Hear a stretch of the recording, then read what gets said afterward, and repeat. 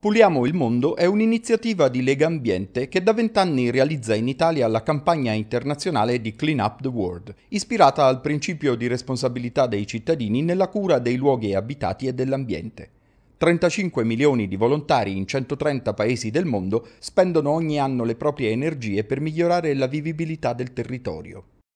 Molte le iniziative in programma a Napoli fra il 27 e il 29 settembre, con la partecipazione di associazioni, comitati e singoli cittadini. Questa mattina a Fuorigrotta la cooperativa sociale Ambiente Solidale e i volontari del quartiere hanno collaborato con i lavoratori del comune di Napoli per ripulire i giardini della Canzanella e piantarvi alcuni alberi d'arancio. Abbiamo pensato di um, portare qui l'evento Puliamo il mondo e quindi provare a pulire e risistemare l'area verde che sono in questa zona auspicando poi nella uh, collaborazione delle associazioni del territorio nel poi farsi cura uh, della gestione della, degli spazi poi nel lungo periodo perché chiaramente in una situazione così difficile nel quale l'amministrazione municipale della quale faccio parte e l'amministrazione centrale uh, sono in difficoltà per quanto riguarda gli aspetti economico-finanziari e anche di personale è chiaro che abbiamo bisogno degli abitanti di una zona affinché essi si facciano cura della loro zona sotto casa. Noi sulla, sul quartiere siamo attive praticamente da circa tre, dalla rivoluzione arancione in poi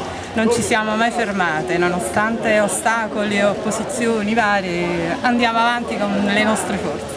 sia praticamente sia con azioni di sensibilizzazione. L'anno scorso abbiamo anche vinto il premio Cartoniadi a sia falso dovere e lo dobbiamo Purtroppo poi dopo poche ore, dopo pochi minuti ci sono questi scarichi continui di